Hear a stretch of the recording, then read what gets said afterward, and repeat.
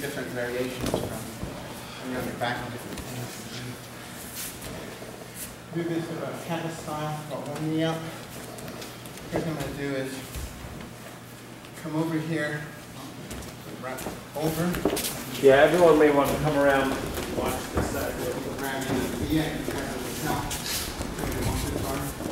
So we use this leg, take out this knee gently, push him out. Lost the grip. Push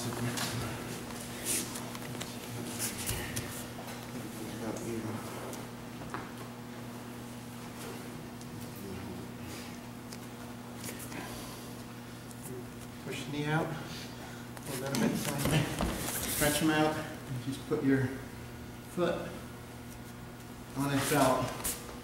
Just gonna lean, as you bend your knees, so put, start to put pressure on, on his elbow.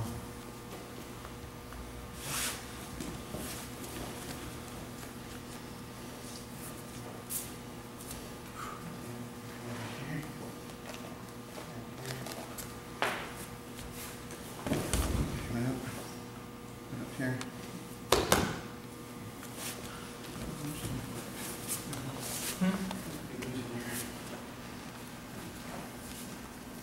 Yeah, I can't, yeah, I'm stuck. Can you step down? Yeah. So you Walk in here, you can't, you can't do much. You gotta do gently. Stretch him out. Okay, so freeze right there.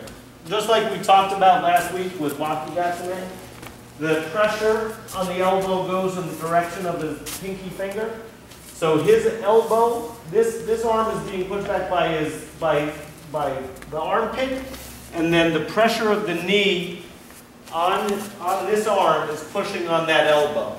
So it is just like the Wakigatame that we did last week. The direction is towards the pinky, just like we talked about last week. And the pressure on the elbow is coming from the knee. Hiza means knee. Doesn't take a whole lot once you're here. Right. So when you practice this, you know, the other arm wants you to do it very slowly, be ready to tap. Remember, everyone, as soon as you start feeling it, you gotta tap. Okay, especially go easy as you push the knee out, don't just drop on it, just kind of take it down slow, and then apply the arm bar slowly. Yeah, I guess, I guess, a couple of things. When he, uh, wraps his arm around and, and goes for the arm bar, he gets it in tight. I'm stuck, all right? Now notice, I might be able to bend my elbow a little bit here, protect it, but when he puts that foot down and pushes that knee out, I get stretched out. I can try and keep my elbow bent again, but once he puts that foot up and applies the Hizagatame, it naturally straightens it out. I can't resist. Now, from here too, he keeps his foot on my knee. Reason being, if I try and get up, he can keep pushing me down. All right? He's keeping me stretched out. If I'm able to get around that foot somehow and pull in, he loses that arm off a little bit. But as long as he keeps me down and stretched out, he's good to go. Yeah, and then this hand too. Holding on to this if I don't let go. Yeah. Try to move around or do anything. If I try and back off, you can, you can stick me. If you got control, it's a whole lot of fine. Is there something you're aiming for when you take that grip? to make sure that you're on his elbow?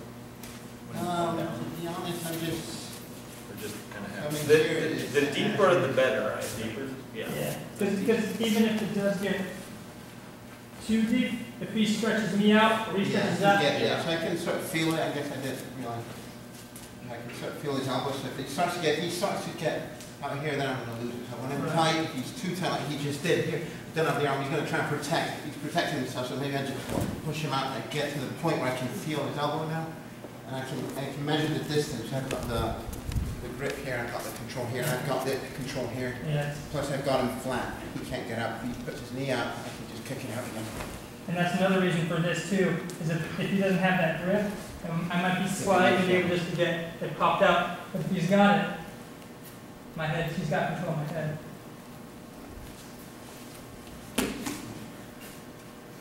Any other questions? It's try that, pair up, try that uh, a few times